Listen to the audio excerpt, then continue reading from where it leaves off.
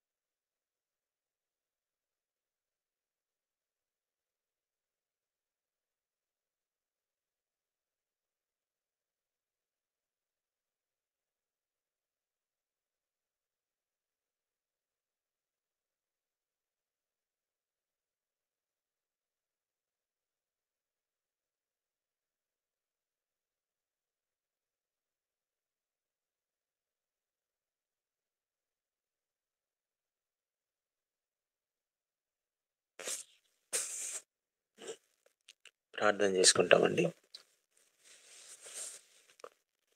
ప్రేమగల తండ్రి పరిశుద్ధుడైన దేవ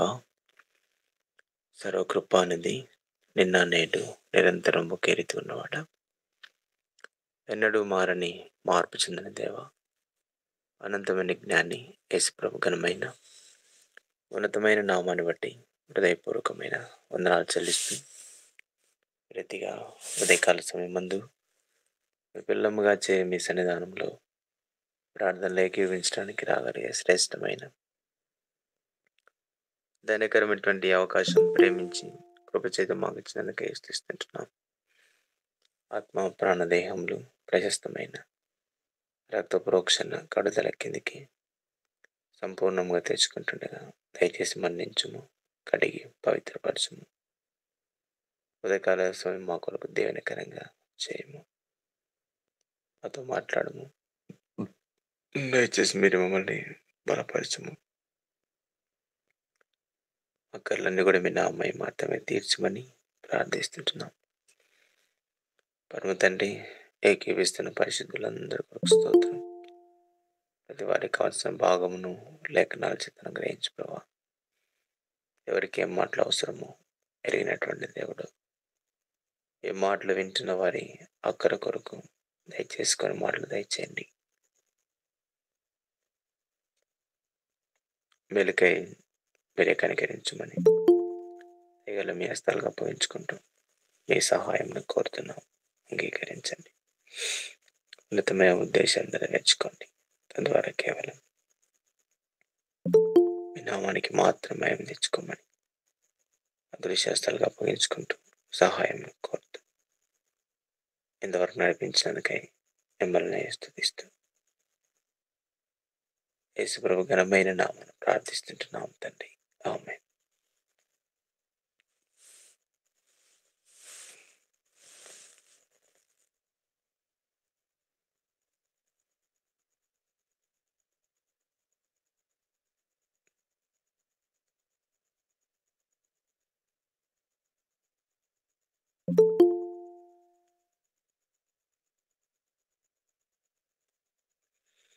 కీర్తనలు తొమ్మిది.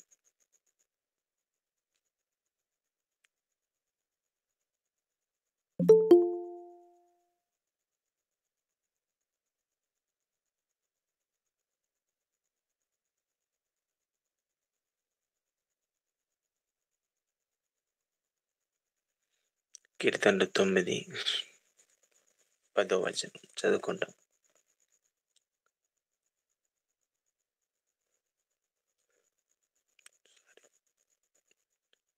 పద్నాలుగు వచనం చదువుకుంటాం. కీర్తనలు తొమ్మిది పద్నాలుగు. అందరం కలిపి చదువుకుంటాం. మరణ ద్వారమున ప్రవేశించకుండా నన్ను ఉద్ధరించువాడా? నన్ను ద్వేషించువారు నా కలగచే బాధను చూడము. చాలు. కీర్తనకాడు కీర్తనకారుడు చెప్పేటువంటి మాట. మరణ ద్వారమున ప్రవేశించకుండా నన్ను ఉద్ధరించువాడ. నన్ను ద్వేషించువారు నాకు కలగచే బాధను చూడు. మొదటి భాగం మాత్రం చదువుకుంటాం ధ్యానిస్తాం. మరణ ద్వారమున ప్రవేశించకుండా నన్ను ఉద్ధరించువాడా? కీర్తన ఇరవై. మొదటి వచనం. ఆపత్కాలమందు యహోవాని గాక. యాకోబు దేవుని నామం నిన్ను ఉద్ధరించును గాక. దేవుని యొక్క వాక్యం సెలవిస్తుంది. యాకోబు దేవుని యొక్క నామం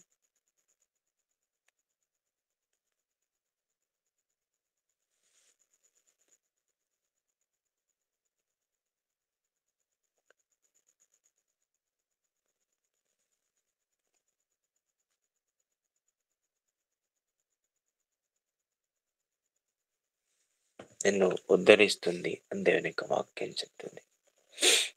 ఉద్ధరించుట అనగా అర్థం ఏంటంటే పైకి లేవనెత్తుట అని అర్థం ఇస్తారు ఉద్ధరించడం అంటే పైకి లేవనెత్తడం. ఎక్కడి నుంచి పైకి లేవనెత్తాడు దేవుడు? దేవుని వాక్యం గమనించండి.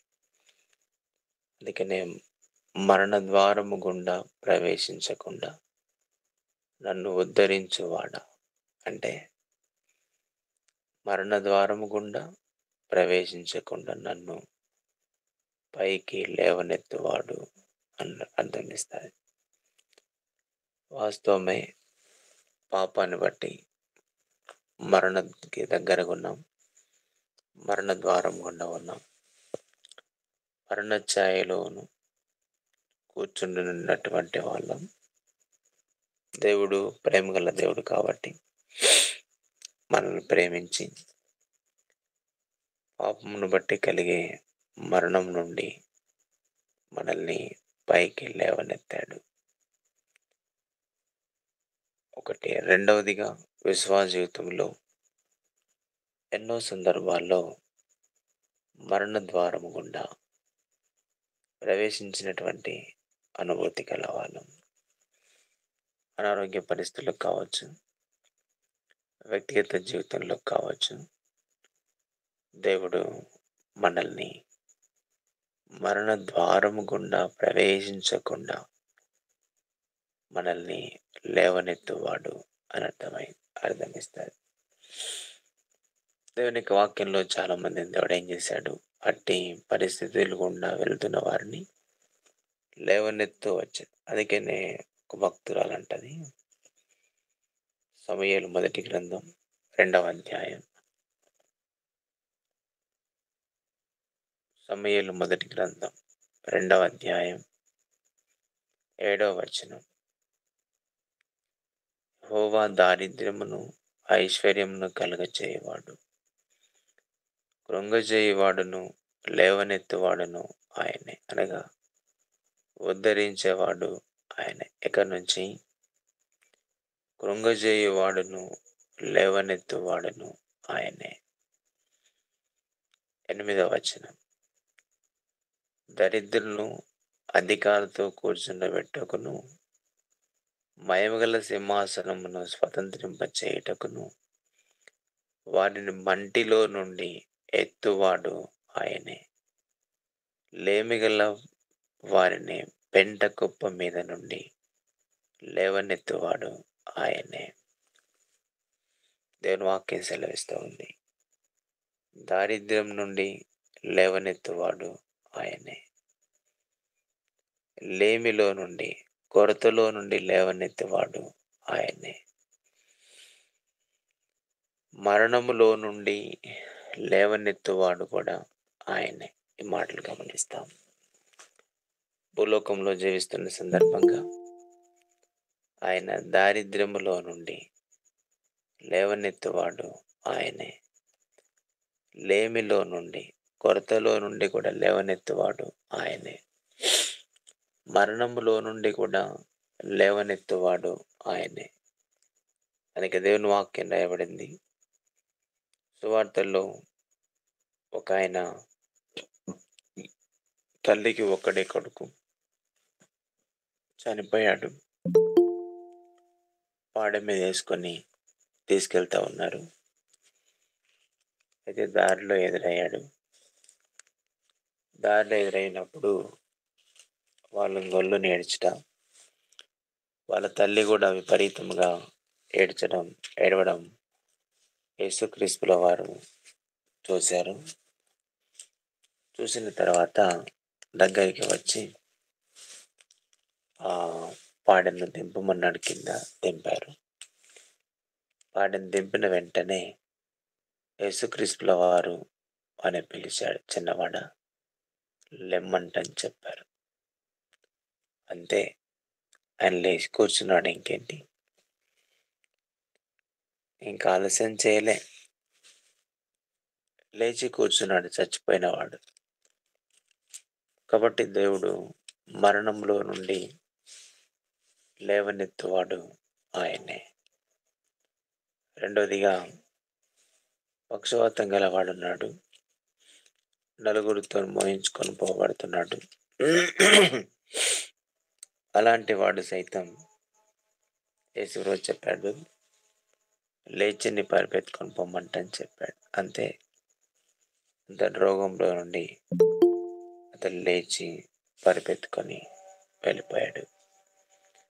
ఆలస్యం చేయలే లేచి వెళ్ళిపోయాడు. అపోస్తుల కార్యం మూడో అధ్యాయంలో మనం చదువుకుంటాం. పుట్టుకతో కుండేవాడు అసాధ్యుడు. ఈ విధంగా బాగు చేయబడడానికి ఎదుకులేనటువంటి వాడు. అలాంటి వ్యక్తి యేసుక్రీస్తు ప్రభు వారి నామం ఉచ్చరించగానే యేసుప్రభు నాములో ఉన్నటువంటి స్వస్థతను పొంది లేచి అక్కడి నుంచి వెళ్ళిపోయాడు. యోహాను సువార్త ఐదో అధ్యాయంలో చదువుకుంటాం. బెతెస్తా కోనేటి దగ్గర ఉన్నటువంటి వాడు కూడా ముప్పై ఎనిమిది సంవత్సరాలు పడి ఉన్నాడు. యేసుప్రభు అక్కడికి వచ్చి అన్నాడు స్వస్థపడ కోరుచున్నావా అని అడిగాడు.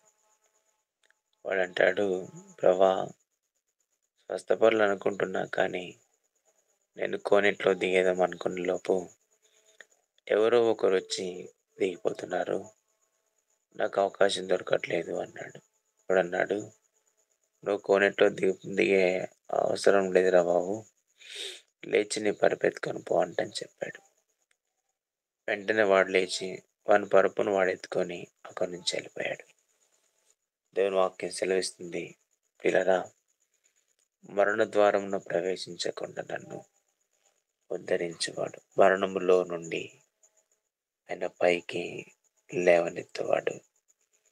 ఈ మాటలు వింటున్న ప్రియ సోడ సహోదరి నీ జీవితం లోపట ఇలాంటి వాటి గుండా కొనుకోబడుతున్నావేమో దేవుని వాక్యం చెప్తుంది పుట్టుకతో కుంటివాన్ని లేవనెత్తినటువంటి నామం. చచ్చిపోయినటువంటి వాడిని కూడా లేవనెత్తినటువంటి నామం. ముప్పై ఎనిమిది సంవత్సరాల నుంచి పక్షవాతంతో పన్నటువంటి వాడిని లేవనెత్తినటువంటి నామం. చనిపోయినటువంటి లాజరు ఆ యొక్క సమాధిలో ఉండి కుళ్ళిపోయి దుర్వాసనతో ఉన్నటువంటి లాజరు. లాజరు బయటికి రా అని చెప్పగానే చనిపోయిన వాడు ప్రేతవస్త్రంతో కట్టబడిన వాడై లేచి బయటికి వచ్చాడు. దేవుని వాక్యం సెలవిస్తోంది. మరణ ద్వారము గుండా ప్రవేశించకుండా నన్ను ఉద్ధరించేవాడు. వాస్తవమే యేసుక్రీస్తు ప్రభులు ఎవరైతే విశ్వాసం ఉంచినాడో ప్రభు చెప్పాడు పునరుత్నము జీవము నేనే. నా ఎందు విశ్వాసం ఉంచువాడు చనిపోయిన బ్రతుకును. బ్రతికిన ఎందు విశ్వాసం ఉంచువాడు ఎన్నటికీ చనిపోవడం రాయబడింది అది మాత్రం కాదు క్రీస్తేస్తున్నందున వారికి ఏ శిక్షా విధి లేదని సెలవేయబడింది యోహాను సువార్త ఐదు ఇరవై నాలుగులో రాయబడింది కాబట్టి నా మాట విని నన్ను పంపిన వాని అందు విశ్వాసం ఉంచు వాడు నిత్య జీవం గలవాడు. వాడు తీర్పులోని రాక మరణంలో నుండి జీవంలో దాటి ఉన్నాడని సెలవేయబడింది అందుకనే దేవుని వాక్యం ప్రస్తావిస్తుంది. మరణ ద్వారము గుండా ప్రవేశించకుండా నన్ను ఉద్ధరించేవాడా? కాబట్టి ఆ పిల్ల రక్త మాంసం గలవారైనందున ఆ ప్రకారం మరణం యొక్క బలం గలవనగా అపవాదిని మరణం ద్వారా నశింప చేయటకును. జీవితకాలం అంతా మరణ భయం సిద్ధాస్యంలో మనం విడిపించటకును. ఆయనకు రక్త మాంసముల్లో పాలేవాడని సెలవిచ్చింది. కదా యేసు ప్రణద విశ్వాసం ఉంచిన వారికి మరణ ద్వారం గుండా వెళ్ళాల్సిన అవసరం ఎప్పుడు లేదు. దాన్ని ప్రవేశించి పేరు పెట్టాడు? నిద్ర అని పేరు దాని మరణం అని పేరు పెట్టలే. నిద్రించిన వారు ప్రభువునందు నిద్రించిన వారిని గురించి మీకు తెలియకుండా మాకు ఇష్టం లేదు. మరణంను తన మరణంతో కొట్టేశాడు. సమాధిని తన సమాధితో వేశాడు అందుకని ఓ మరణమాని ముళ్ళు ఎక్కడ ఓ సమాధిని విజయం ఎక్కడని రాయబడింది. మిత్రమా దేవుని వాక్యం సెలవిస్తుందేమని? మరణ ద్వారం గుండా ప్రవేశించకుండా నన్ను ఉద్ధరించేవాడు. అందుకనే పాపును బట్టికలను బలహీతల నుంచి లేవనెత్తివాడు ఆయన. పాపును బట్టి మరణం నుంచి కూడా లేవనెత్తినవాడు ఆయనే. విశ్వాస బ్రతుకు జీవితంలో ఒకట ఇలాంటి ఉన్నతమైనటువంటి విజయాన్ని పొందిన వారమైన ప్రియ స్నేహితుడా ప్రియ సహోదరి సోదరుడ ఎవరైనా కావచ్చు. రోగం వస్తే చావు వస్తాను భయపడుతున్నాయేమో అది చావు కాదు. జాగ్రత్త గుర్తించు. ఒకరోజు చనిపోతున్నటువంటి భయంతో నిండి ఉన్నావేమో దేవుని వాక్యం చెప్తోంది మరణ ద్వారం గుండా ప్రవేశించకుండా నన్ను ఉద్ధరించు వాడని రాయబడింది. అవును యేసుక్రీస్తులో వారు కలవరిశిలో చేసిన త్యాగము బలియాగము కార్చిన ప్రశస్త రక్తమును బట్టి మరణమును మరణంతో కొట్టివేసి ఇక విశ్వాస ఎప్పుడు కూడా నీతిమంతుడు ఎప్పుడు కూడా మరణ ద్వారం గుండా ప్రవేశించే ఛాన్స్ లేకుండా చేశాడు. ఏ మార్గం ఉంది మరి ఇంకోటి? జీవ మార్గం. మరణంలోనికి నుండి జీవంలోనికి దాటింపబడ్డారు కాబట్టి మరణాన్ని అపవాదిని వాని పన్నాగములన్నీ కూడా యేసుక్రీస్తుల వారు ఓడించి జీవాన్ని సిద్ధపరిచారు.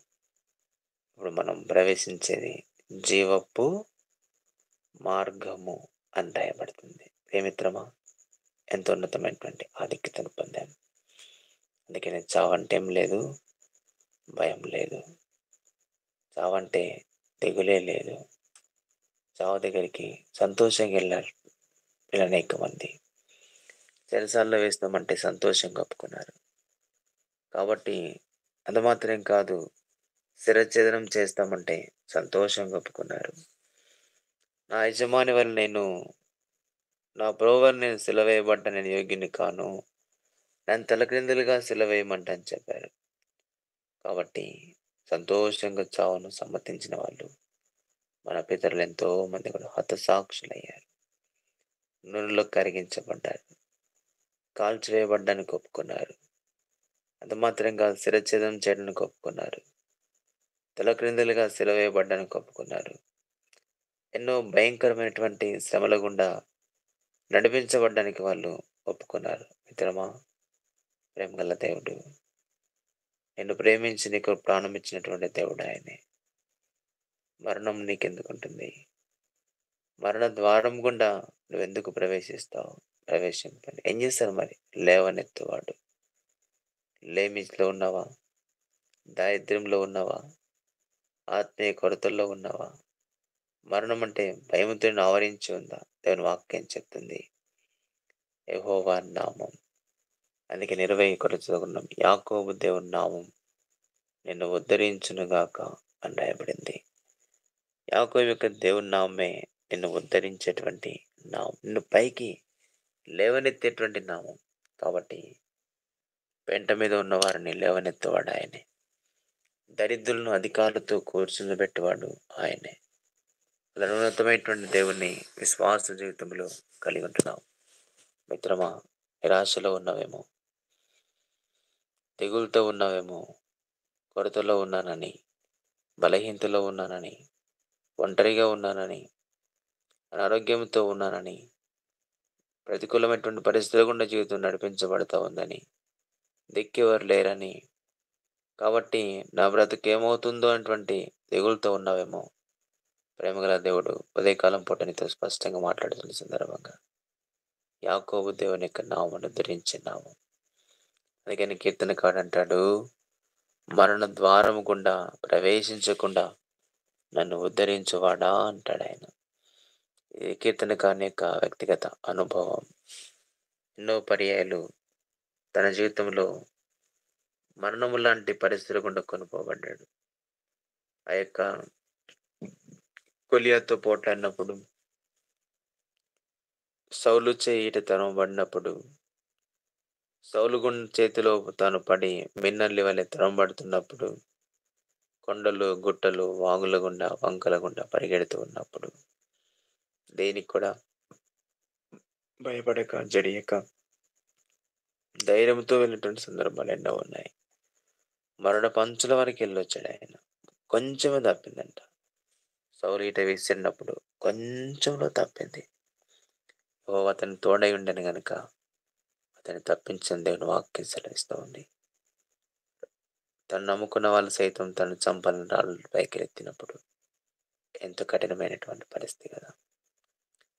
ఎంతో కఠినమైనటువంటి పరిస్థితి. కట్టుకున్నటువంటి భార్య అవహేళన చేసినప్పుడు బ్రతుకుడు కంటే చచ్చడమేలు అనిపిస్తుంది కొన్ని సందర్భాల్లో. కడుపును పుట్టినటువంటి వాళ్ళే చంపలను తరుముతున్నప్పుడు ఎంతో బాధాకరం కదా. అందుకే భక్తుడు అంటాడు మరణ ద్వారం గుండా. ప్రవేశించకుండా నన్ను ఉద్ధరించేవాడా. ఎంత గొప్ప భాగ్యం. మిత్రమా ఎలాంటి పరిస్థితులు నడిపించబడుతున్నావు? ఎలాంటి స్థితిగతులు గుండా తీసుకొని పోబడుతుంది నీ జీవితం? ఎలాంటిదైనా కావచ్చు. నీ దేవుడు నేను తరం వారికంటే నేను వెంబడించు పరిస్థితులన్నిటికంటే కూడా ఉన్నతమైనటువంటి దేవుడు ఆయన మరణ ద్వారం గుండా ప్రవేశించకుండా మరణ ద్వారములో ప్రవేశించకుండా నిన్ను ఉదయించువాడు ఆయన నిన్ను కాపాడువాడాయన. మరణ ద్వారమున ప్రవేశించకుండా నిన్ను లేవనెత్తువాడాయన. అలాంటి దేవుడు నీ దేవుడమ్మా. దిగులతో ఉన్నావేమో కలత కలవడంతో ఉన్నావేమో నిరాశ నిస్పృలో ఉన్నావేమో దేవుడు నీతో స్పష్టంగా మాట్లాడుతున్నాడు. ఎంతో మందికి చేసిన దేవుడే ఉదయకాలం పూట నీతో కూడా మాట్లాడి బలపరచడానికి ఇష్టపడుతున్నాడు. అందుకనే ఆయన నామాన్ని ఆశ్రయిస్తావా? ఆయన నామాన్ని ఆశ్రయిస్తావా? ఇందులో ఒక మాట రాయబడింది. పదవ వచనం ఆశ్రయించు వారిని విడిచిపెట్టేవాడు కాదు. కావు నీ నామం మెరిగిన వారు నేను నమ్ముకొందురు అండాయబడింది ఎవరైతే నా ఆశ్రయిస్తూ వచ్చారో వారిని ఆయన విడిచిపెట్టేవాడు కాడు. కాబట్టి నామం నెరిగిన వారు ఆయన నమ్ముకుంటారు. కాబట్టి ఆశ్రయించిన వారిని ఆయన విడిచిపెట్టేవాడు కాడు. ఎలా ఉంది నీ పరిస్థితి? ఒకసారి పరీక్షించుకొని ప్రభుకు అప్పగించుకొని సమకూర్చబడిన మనసు గల వారమై ప్రభు సన్నిధిలో ప్రార్థనల ముందుకు కొనసాగుతాం.